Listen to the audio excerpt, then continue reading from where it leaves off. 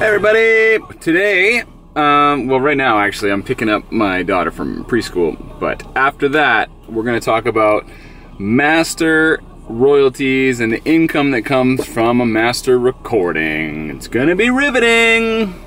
Uh, this is actually the second time I've shot shooting this. I did one and it it was like fucking like 30 minutes long. So this is gonna be a lot more succinct and it's gonna be all about master income. So I'm gonna go pick up my daughter.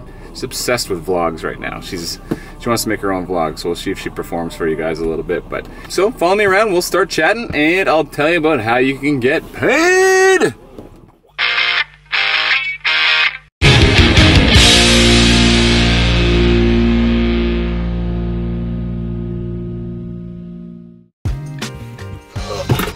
How you going?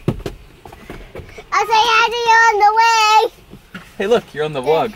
Want to say hi to the vlog? Hi. Say hi vlog. No. hi, Rock. What'd you learn today? Um, about Zed. The letter Z. What starts with Z? Zebra and zombie. Zebra and zombie. Very good. Should we go get? I want to get a coffee. Do you want to have a, a donut or something? Or muffin? Or a coffee? Donut. All right, let's go. I can't have you on when I'm driving though. It's illegal.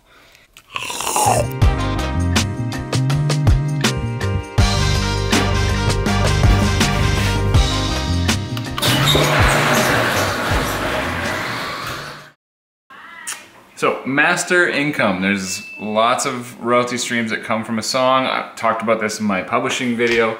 But yeah, we're only talking about master income right now. I- wanted to talk about this one as its own separate royalty stream because this one is basically where all the juice is. This is this is my go-to for making money as an indie music. As an indie music? As an indie musician. Take that off.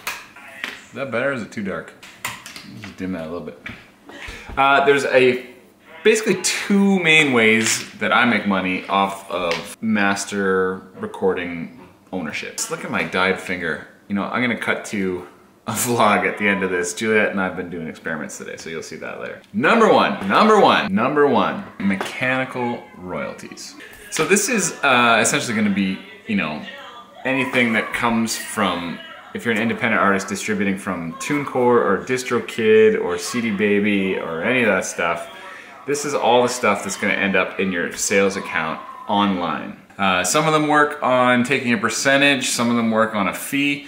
I use TuneCore, it works on a fee. You pay X amount to release a single. They just collect basically all the sales and streaming master revenue for you, your mechanicals. Yeah, and it goes right into a, a bas basically like a virtual bank account that's on their site. And when you take money out, you can just say how much you want to take out, goes to PayPal, and then you can hook PayPal up to your bank account. I like to keep a bunch of money in there. It's good rainy day money. I use it to pay my tax at the end of the year, which I just got crushed on. So whatever you want, I mean, you could leave money in there to pay for future releases, or you could take money out and use it to buy food and continue to survive as an independent musician when you're getting these streaming revenues, these mechanical royalties for streaming, it's kind of hilarious how badly the DSPs pay. You gotta own your master if you wanna do anything on streaming. So Spotify pays like maybe 0.004 for a stream, I think in Canada, which is kind of crazy. You need like 5 million streams to make $20,000, which is not really a huge income.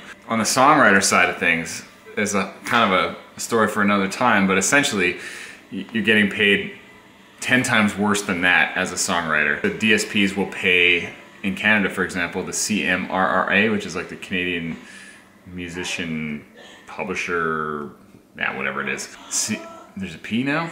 CM, CMRRA, Canadian Musical Reproduction Rights Association. So Spotify pays them, they pay your publisher, your publisher pays you. If you don't have a publisher, go sign up at CMRRA. Uh, you can become an affiliate and they'll just pay you directly.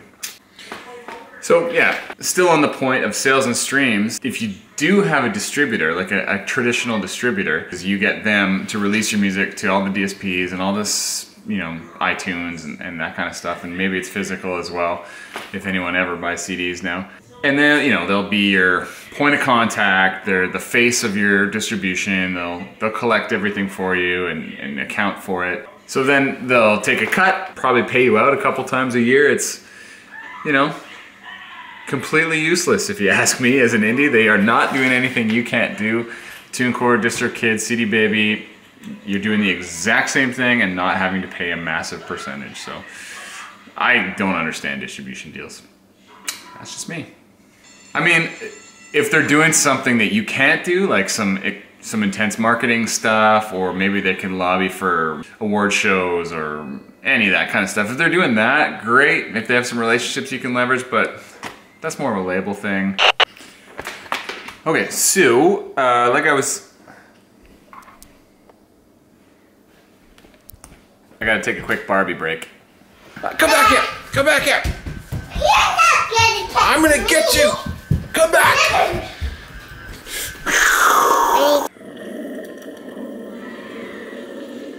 Next. Um, here I am. I'm out looking out my kitchen window here. This is always my this is my social media vlogging spot. The other way, licensing, I think there's kind of two subcategories of licensing that are essentially the bulk of where you're gonna make money off your master. One is sync, so through a publisher or a sync house of some sort, whether it's an admin or a publishing deal, you can license your song, your recording, uh, to TV, film, commercials, video games, all that stuff. X amount of time for X amount of dollars. It's it's a limited license and it's kind of great. That's it's huge money if you can get it, but it's really tricky to land syncs. You know, probably two percent of the time, the pitch sync that someone's interested in will land because there's infinite amount of music out there. But it's a great way to do it. And the other licensing thing you can do uh, is license to a label. If you want to do a deal with a label and you have a great master, there might be some leverage there to make some dough, they would basically take control of your master for X amount of time or perpetuity, depending on the deal you sign. And they would make the master income, and you would hopefully get some sort of money in return for that. Um, haven't seen too many of those deals that really make sense unless there's massive marketing dollars involved. I guess that's the two main licensing things that I can think of. My house is a disaster. Yeah. So the next thing is Okay, this is kind of complicated. This is performance royalties you can get. Typically, a lot of songwriters and musicians know that when your song is played on the radio, there's going to be a company like in Canada, SOCAN, that pays songwriters, or BMI or ASCAP or whatever in the States. But there's also a way that the master owner and the performer can get paid. Uh, in America, the one I use is called Sound Exchange. Absolutely life-changing. It essentially collects two streams for me. Since I'm the master owner, that's one. I'm also the artist on the track, so that's two. And it the the main money generator on that stream is SiriusXM. Terrestrial radio might pay one dollar for a, a, spin in a major market, but SiriusXM pays like 20 to 40 dollars per spin. That's been a huge part of my income now. There's another one in Canada called Re:Sound that you can check out. I'll uh, I'll link all this stuff below too. There's there's a ton of information to check out. So there's tons of ways you can get paid without being a master owner and I'll leave that in the next video. Yeah, ultimately owning your master is kind of where it's at. That's where all the good money is and that's what I recommend you try and do as often as possible. When you sign a deal, ultimately you should remember that you become the commodity. So the label's primary goal is to turn a profit and they're gonna be using your recording to do that. So if you're prepared and you have a plan, great, but just know that you're the product at that point. You're not profiting as much as they are from the master recording side of things. So own as many masters as you can, you know, do collaborations, whatever you can do to get a piece of that, then make sure you're collecting at all these different places. So I'm gonna link all those companies that basically pay out royalties. I'm gonna link them below. Check out FYI Music News. It's a Canadian music industry newsletter that has tons of great info um, you're probably gonna wanna stay up to date on. So check that out. Hold on. Uh, just checking my list. All right, so yeah, I mean, that's pretty much it. I've been in this business for, I don't know, 15 or so years and I'm still figuring stuff out. I just got off the phone with my publisher asking about royalty rates and things like that and it's it's confusing. So if you guys have anything you want me to touch on or clarify or any questions for me, make sure to hit me up on my Instagram DM or you can just leave a comment below. And also make sure to check those links because I think you'll get something out of them. Really, really cool stuff. It's almost three. I better go pick up my other kid. Hey guys, it's Dan Davidson here. Check out some other videos here, here, and don't forget to subscribe.